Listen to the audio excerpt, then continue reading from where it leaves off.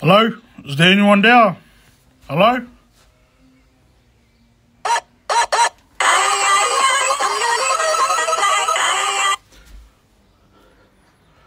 Mate, we can hear your phone. Just open the door, bro.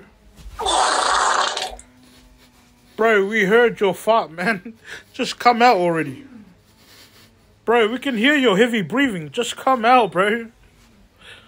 Uh, hey, um, uh, the owner of the house isn't here. Uh, I'm the butler.